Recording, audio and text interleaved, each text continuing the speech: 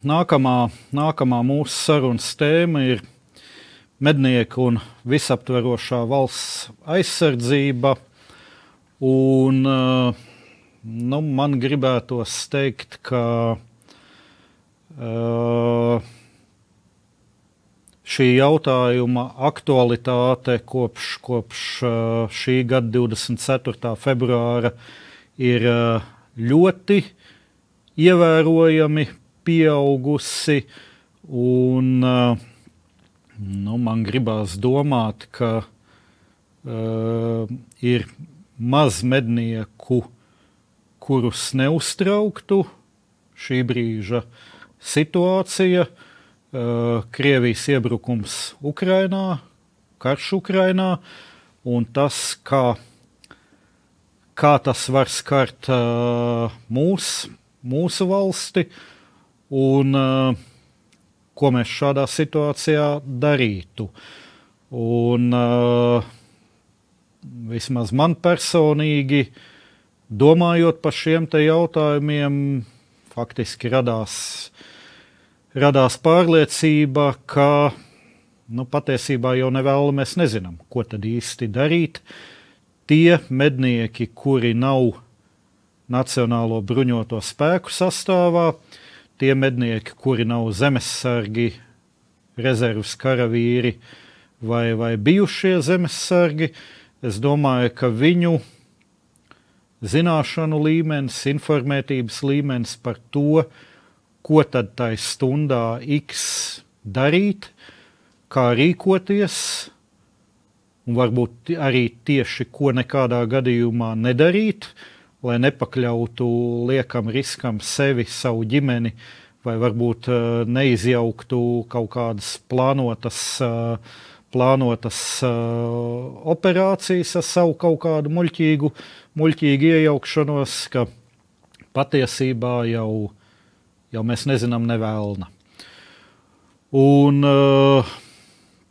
jā, situācija Eiropā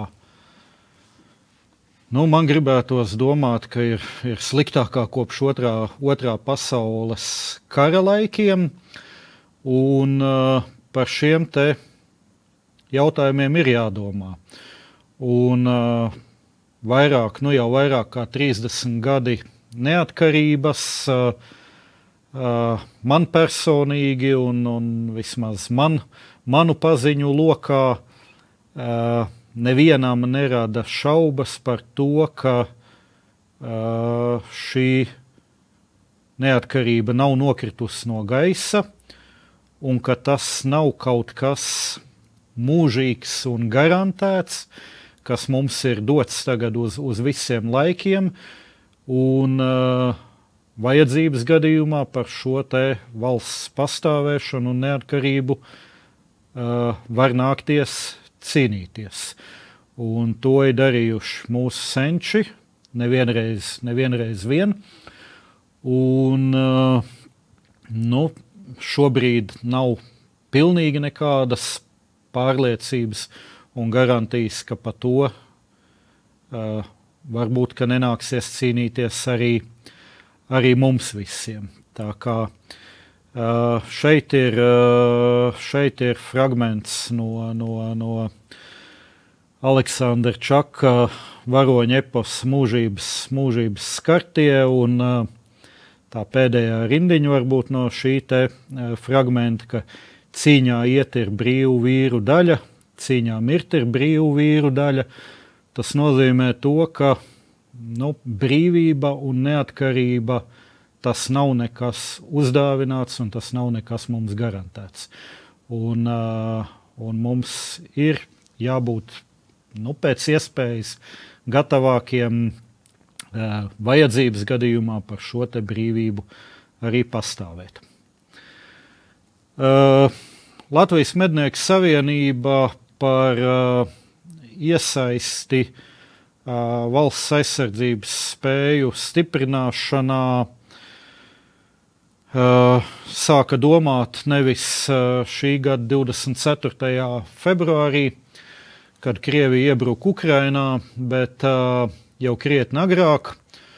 Un jau 2017. gada 20. decembrī tas rezultējās ar aizsardzības ministra Raimonda Bargmaņa un Latvijas Mednieku Savienības parakstītu vienošanos par sadarbību ar mērķi, ar mērķi veicināt Latvijas mednieku iesaistīšanos valsts aizsardzības spēju pilnveidošanā un stiprināšanā. Uh, ko šī vienošanās paredz un kas šo gadu laikā ir uh, īstenots, uh, pastāstīšu nedaudz vēlāk, bet faktiski mēs gandrīz par gadu apsteidzām saimu vai, vai, vai teiksim, likumdošanas izmaiņas, kas 18. gada 4. oktobrī saima atbalsta grozījums Nacionālās drošības likumā, uh, definējot visaptverošus valsts aizsardzības pamatprincipus un nosakot iedzīvotāju pienākumus kara laikam. Līdz šim šādas normas par visaptverošu valsts aizsardzību Nacionālās drošības likumā nebija, bet tātad mednieki ar, ar savu iniciatīvu faktiski gāja pa priekšu un rādīja piemēru, ka sadarbība var būt, ka, ka ne tikai nacionālajiem bruņotajiem spēkiem un zemesardzē ir loma uh, valsts apdraudējuma gadījumā, bet arī, arī citas sabiedrības grupas uh, var šajā iesaistīties un viņām vajag šajā procesā iesaistīties. Tā tad uh, Nacionālās drošības likums, ko tad viņš paredz? Un proti, uh, Nacionālās drošības likums ir papildināts ar 25 prim pantu, paredzot iedzīvotāju pienākumus kara vai militāra iebrukuma gadījumā, īstenojot visaptverošu valsts aizsardzību, iedzīvotājiem ir šādi pienākumi. Tātad pildīt uzdevumus, ko dod NBS, un to uzdevumu izpildē atbalsts sniedzošās NATO vai dalību valstu bruņoto spēku vienības, kuras īsteno Latvijas valsts militāro aizsardzību kā arī cits par valsts apdraudējumu pārvarēšanu atbildīgās valsts pārvaldes un pašvaldību institūcijas. Ar pienākumu pildīt uh, uzdevumus tiek saprasts pienākums pildīt mobilizācijas pieprasījumus, ministra kabineta rīkojumā pa izņēmumu stāvokli noteiktos fizisko un juridisko personu papildus pienākumus par apdraudējumu pārvarēšanu atbildīgo institūciju rīkojums un citos likumos noteiktos pienākumus rīcībai militāra iebrukuma vai kara gadījumā. Tā tad, ko tas nozīmē militāra iebrukuma vai kara gadījumā, visticamākais, ka valstī būs vispārējā mobilizācija, kas skars visus vīriešus vecumā no 18 līdz 60 gadiem ar noteiktiem teiksim, profesiju izņēmumiem kurus šī mobilizācija neskar, bet, bet principā jebkuram Latvijas iedzīvotājam, vīrietim vecumā no 18 līdz 60 gadiem būs jābūt gatavam aizstāvēt savu valsti tieši tā, kā tas šobrīd notiek uh, Ukrajinā. Un tāpat tas paredz uh, prasību nesadarboties ar nelikumīgām pārvaldes institūcijām, agresoru bruņotām vienībām, uh, Uh,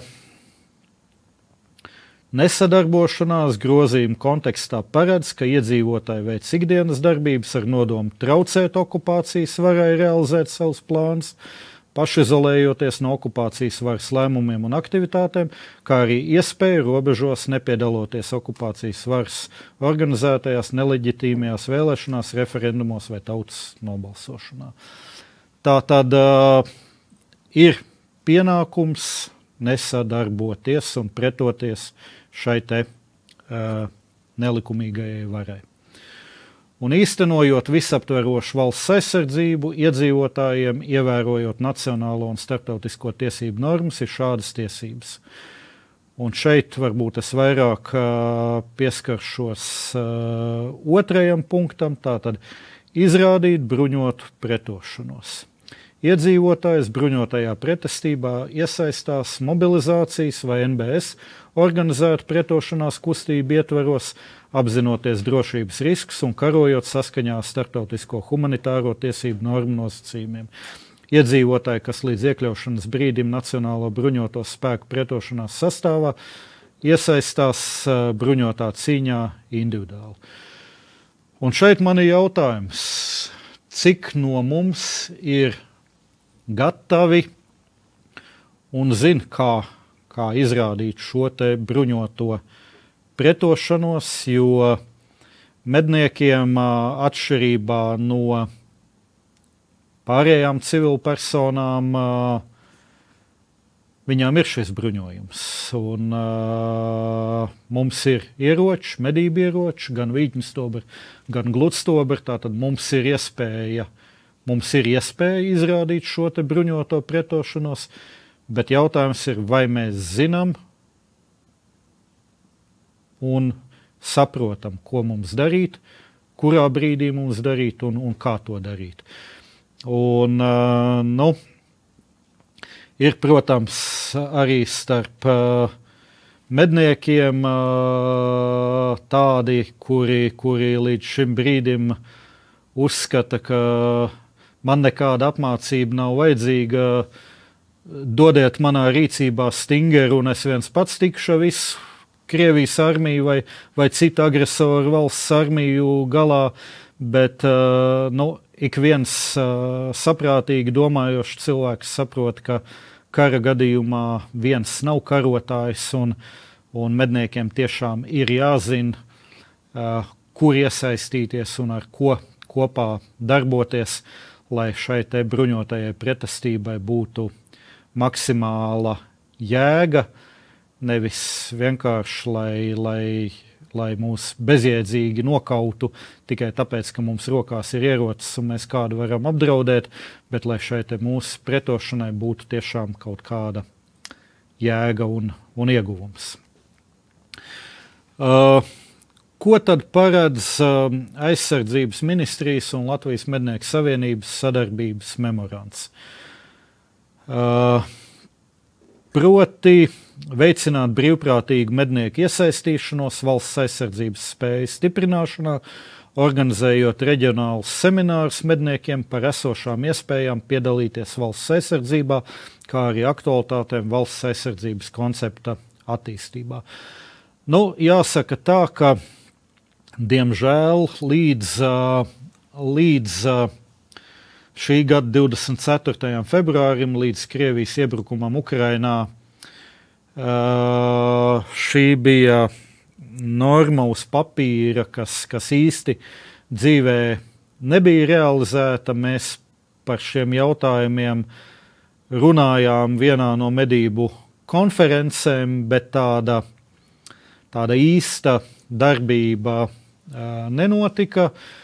Bet jā, notikumi, notikumi Ukrajinā katrā ziņā arī NBS vadībai, aizsardzības ministrijai, NBS vadībai un, un zemesardzes vadībai lika pārdomāt šos jautājumus un apzināties to, ka mednieki ir spēks, kas, kas var būt noderīgi un, un uh, valsts, valsts apdraudējuma gadījumā. Uh, Un šobrīd ir jau notikuši vairāki pasākumi, eh, kur eh, mednieki kopā ar zemesardzi ir eh, runājuši par šiem jautājumiem.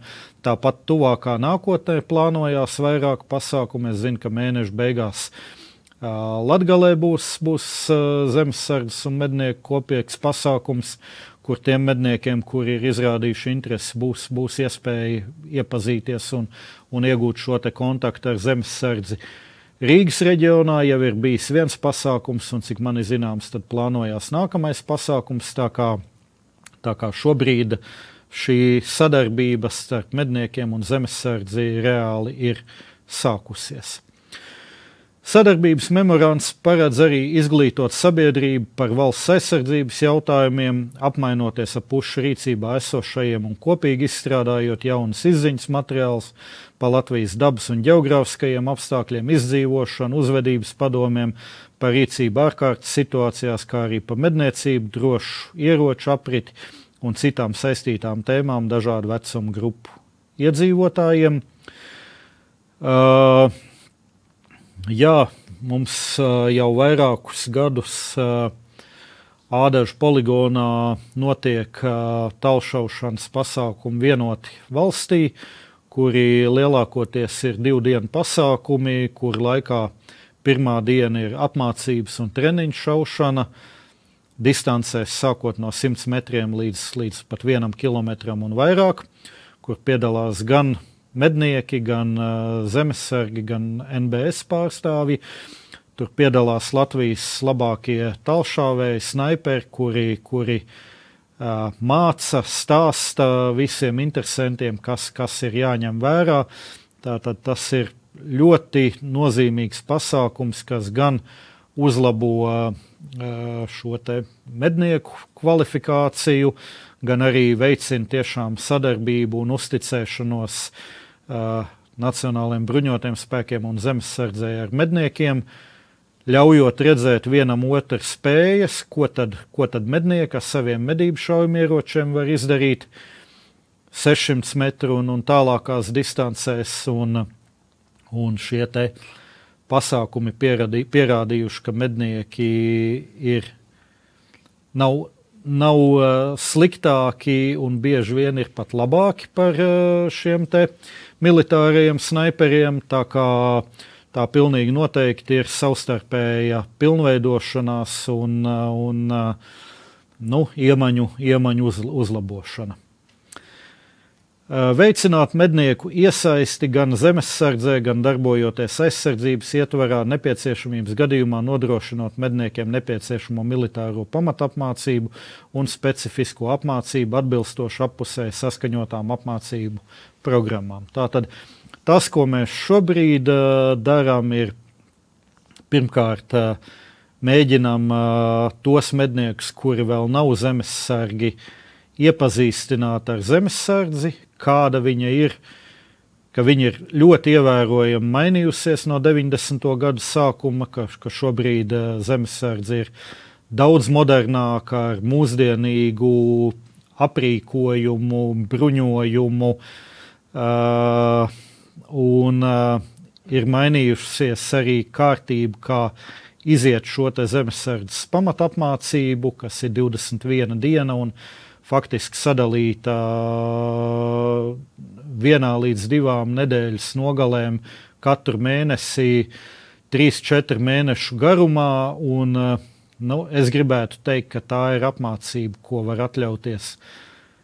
Nu, gandrīz katrs uh, Latvijas iedzīvotājs. Tā nav 21 diena uh, bez pārtraukuma, kā tas, kā tas bija agrāk, jo, jo trīs dienas veltīt teiksim, visu savu atvaļinājumu tam tuvu ne katrs bija gatavs, bet uh, nu, gada laikā iziet 21 dienu apmācība, kas ir sadalīta divu dienu uh, apmācību ciklos. Uh, es gribētu teikt, ka to var gandrīz, gandrīz katrs Latvijas iedzīvotājs. Tā kā jā, labākais, ko, ko mednieki var darīt, ir iesaistīties zemesardzē, bet uh, Nu, ir skaidrs, ka ne visi to izdarīs. Tādēļ mēs šobrīd esam panākuši vienošanos ar zemesardzi, ka priekšmedniekiem tiks veidota speciāla programma, kas, kas paredzēs šo iepazīšanos ar zemesardzi, kontaktu veidošanu, jo nu, tai, tai x stundā vai apdraudējuma gadījumā uh, sadarbība notiks ar vietējo zemesardzes bataljonu. Uh,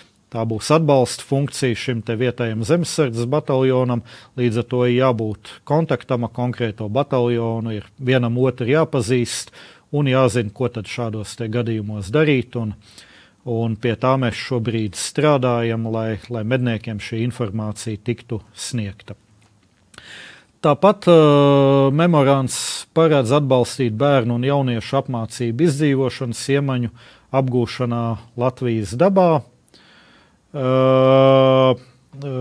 Pagaidām tas vairāk ir īstenojies tādā veidā, ka Latvijas Mednieku Savienība nodrošina lektorus jaunsardzes nometnēs, kur mēs stāstām par medībām, par medniecību, par tās nozīmi, par uh, uh, to, ko mednieka status, kā, kādus mednieka status dod uh, priekšrokas cilvēkam, kurš vēlas nākotnē sevi saistīt ar zemesardzi vai bruņotajiem spēkiem, vai, vai iesaistīties valsts aizsardzībā, jo nu, faktiski šī ir vienīgā iespēja, kā uh, civila persona var mājās glabāt garstobru, vītņstobru šaujamieroci, kas, kas pašai, kas, teiksim, nu, kaut kādā apdraudējuma gadījumā ir, ir būtiski.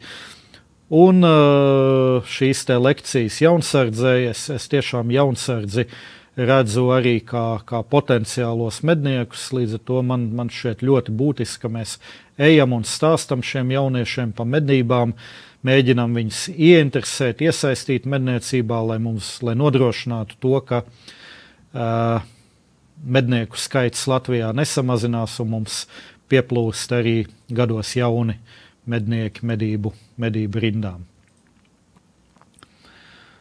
Uh, Tā tad, jā, šie darba plāni, šobrīd uh, darba plāna galvenais punkts ir Latvijas Mednieku Savienības, vai es pat gribētu teikt, ka plašāk nevis Latvijas Mednieku Savienības, bet uh, Latvijas mednieku iesaiste visaptverošās valsts aizsardzības sistēmā, sadarbība ar Nacionālajiem bruņotajiem spēkiem un zemesardze valsts apdraudējuma gadījumā. Uh, Un uh, šobrīd, uh, pēc, pēc uh, Krievijas iebrukuma Ukrajinā, tas ir punkts numur viens. Tā ir vis, visaktuālākā tēma.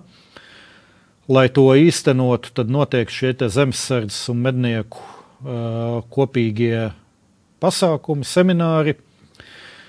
Mēs esam bijuši iesaistīti sadarbības organizēšanā ar iekšlietu ministrijas struktūru vienībām par atbalstu sniegšanu pazudušu personu meklēšanā, jo nereti eh, arī vietējie mednieku klubi tiek iesaistīti pazudušu personu meklēšanā. Un, uh, bieži vien tieši vietējie mednieki arī ir tie, kas palīdz atrast šīs pazudušās personas. Lekcijas par medībām jaunsardzes nometnēs un NBS militāro šauto infrastruktūras izmantošana mednieku šaušanas nodarbību organizēšanai. Uh, Līdz šim tas ir bijis uh, Ādažu poligons, kurā tika organizēti šie pasākumi vienot valstī.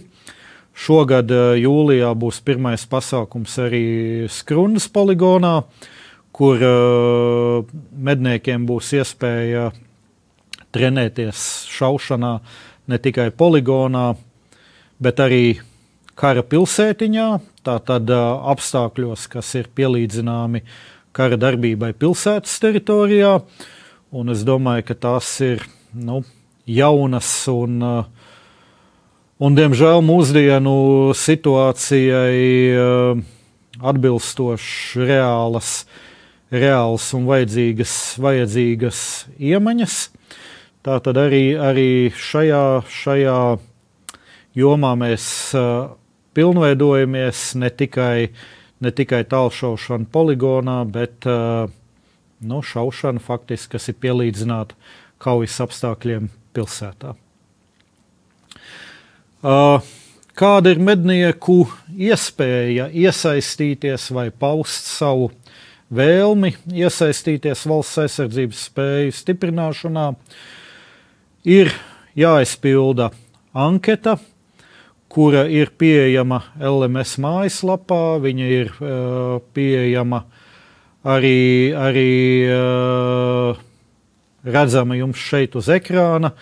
Ja kādam no jums būs interese un jūs viņu nevarat atrast uh, LMS mājaslapā, var droši rakstīt vai nu man vai uz LMS e-pastu. Mēs šo anketu jums aizpildi, aizsūtīsim. Uh, Un eh, šī te, mm, eh, anketa ir jānosūta uz e-pastu esi zemesargs at mil.lv. Tā tad jūs redzat, anketas jautājums tā ir nu, elementāra vispārēja informācija par jums. Un tad atkarībā no tā, cik šādas anketas būs saņemtas un kādos reģionos, tad uh, Zemesardze arī organizēs tikšanās ar medniekiem, uh, lai, lai organizētu kaut kādas tālākās apmācības. Kā jau minēju, tad, tad šobrīd ir uh, viena šāda tikšanās notikusi jau Rīgas reģionā.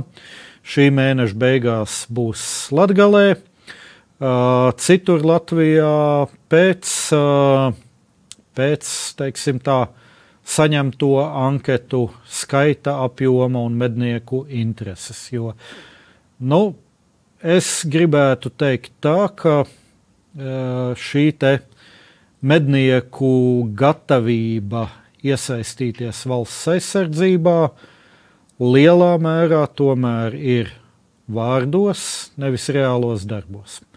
Vārdos, tad, kad mēs runājam savā starpā, tad nu, tuvu ik katrs no medniekiem saka, ka viņš būtu gatavs to darīt un, un gribētu, un, un, un jā, viņš vēlas kaut kādu šo apmācību. Šobrīd ir pagājuši gandrīz divi mēneši, kopš šī anketa ir izveidota, un viņu ir iespējams nosūtīt zemesardzei. Uh, nu, Pagaidām to ir izdarījuši nedaudz vairāk kā 100 mednieki.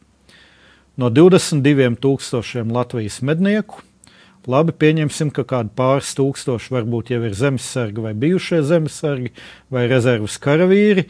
Uh, vienalga, es gribētu teikt, ka uz kopējā teiksim, Latvijas mednieku skaita vai no kopējā Latvijas mednieku skaita uh, mednieki, kas ir aizpildījuši anketu un tiešām grib saņemt kaut kādu reālu apmācību. Pagaidām šis skaits ir niecīgs. Viņš ir, viņš ir daudz par mazu nekā tam, tam vajadzētu būt. Tādēļ, nu, jā, mēs centīsimies visiem spēkiem uh, un visos iespējamos uh, formātos uh, stāstīt par šo pasākumu, par šo iespēju. Uh, Un uh, ceru, ka arī šis seminārs liks kādam nu, vēlreiz pārdomāt uh, savas uh, vēlmes un, un savas uh, zināšanas, un tomēr šo anketu aizpildīt un nosūtīt. Uh, šeit jūs redzat uh, zemesardzes vienību atbilstības rajonus. Tātad Latvijā ir četras zemesardzes brigādes. Uh, Kurzemes, Rīgas, Vidzemes un, un Latvijas brigādes, kas, kas sīkāk ir sadalītas bataljonos. Tātad šādā veidā caur bataljoniem arī notiks šī sadarbība, jo nav, nav jēga, ja, ja jūs esat, teiksim, dzīvojat vai medījat Latgalē, nu nav nekāda jēga sadarboties ar Rīgas vai, vai, vai Kurzemes brigādu vai bataljonu, tātad vai nu pēc jūsu medību vietas, vai, vai pēc jūsu reālās dzīves vietas, tad šī sadarbība arī varētu notikt tā, lai viņa būtu maksimāli pietuvināta tam reģionam, kuru jūs pārzinat, kur jūs vai nu medījat, vai dzīvojat, un kur jūs tiešām arī kaut ko noderīgu varat izdarīt šī valsts apdraudējuma gadījumā. Tā tad, uh, uz ko es aicinu, Tā tad labākais, ko ik viens mednieks varētu darīt, un vērtīgākais, ja jūs tiešām domājat par, par savu pienesumu valsts aizsardzības spēju stiprināšanai, tā ir iestāšanās zemesardzē un šīs pamatapmācības iziešana. Tāpat ir viens no formātiem ir brīvprātīgo rezerves karavīru apmācība. Tā ir 21 dienas nometne, kas ir vienā, vienā laidā, tātad trīs nedēļas, un rezultātā jūs iegūstat statusu rezerves karavīrs. Nu, cilvēkiem, kam ir ģimenes darbs, bizness, vēl kaut kas, šis varētu būt sarežģītāk īstenojams nekā šī 21 diena faktiski sadalīta pa divu dienu cikliem gada garumā. To, kā jau es minēju, nu, var, var iziet gandrīz katrs. Uh, ja ir šāda interese, tad ir uh, iesniegums uh, zemesardzē. Un vēl, vēlreiz es gribu atgādināt, ka, ja nu tiešām tā, tā stunda X sitīs un, uh, un pie mums notiks kaut kas līdzīgs, kā, kā, kā tas ir notiks, noticis Ukrainā, tad vispārējai mobilizācijai tiek pakļauti visi vīrieši vecumā no 18 līdz 60 gadiem. Un es vēlreiz aicinu katram no jums pārdomāt, cik gatavi un cik zinoši jūs esat vai spējīgi šādā situācijā kaut ko tiešām uh, savai valstī liederīgu dot. Uh, un nobeigumā vēl viena, vēl viena aktivitāte, ko ir uzsākusi Latvijas Mednieku Savienība, ko, ko izmantojot šo iespēju, es gribu arī aicināt, atbalstīt. Tātad, uh, Latvijas Mednieku Savienība aicina apgādāt Ukraiņas aizstāvis ar tiem nepieciešamo aprīkojumu. Un mūsu mērķis ir noklāptēt un nosūtīt Ukraiņas aizstāvjiem augstas precizitātes šaujamieročus, respektīvi medību karabīnas, kuras var izmantot kā sniperu ieročus, kas ar tiem nepieciešamo aprīkojumu, trokšņu slēpētājiem, atbalsta kājām, optiskajiem termiskajiem tēmekļiem, lāzeru tālmēriem, munīcija, rezerves aptverēm un tā tālāk.